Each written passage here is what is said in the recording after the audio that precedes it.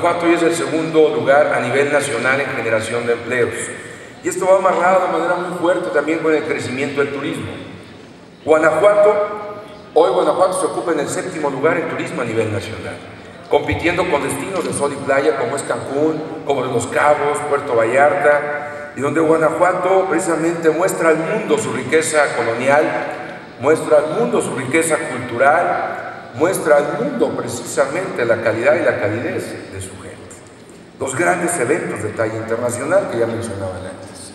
Por eso Hoy en el turismo más de 160 mil familias dependen del turismo. Y hablamos de un crecimiento en el turismo de más del 15% sostenido anual. Eso habla de un importante derrame económico. Por eso hay buenas noticias para Guanajuato y nos ha ido bien. Porque en suma, también podemos decirles que la economía, las finanzas del Estado tienen una calificación global positiva. Y esto habla de un buen manejo de las finanzas en el Estado. Por eso es importante decirles que cada acción, que cada programa tiene nombre y apellido y que están precisamente siendo sujetos de una mejor calidad de vida.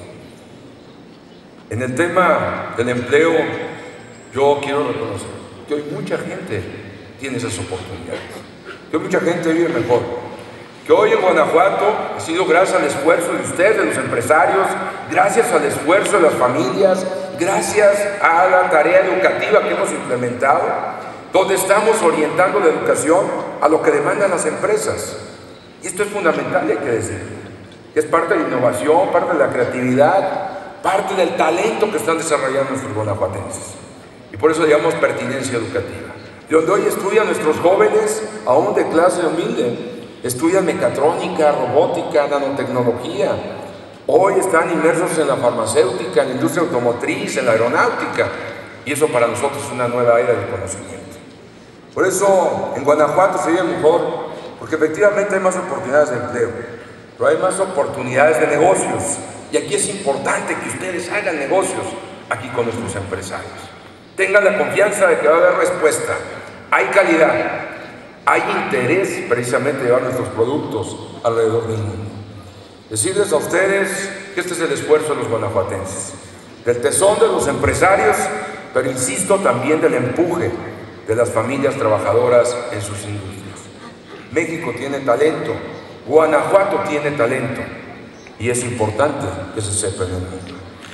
Siendo hoy lunes 24 de noviembre a las 10 de la mañana con 17 minutos, Declaro formalmente iniciados los trabajos de este quinto Congreso Mundial del Calzado, manteniendo un paso adelante, conociendo los retos del sector calzado, deseando que los resultados de este evento se traduzcan en mayor prosperidad y desarrollo para la industria del calzado mundial en beneficio de los miles y miles de empleos que se generan a lo largo y ancho del mundo.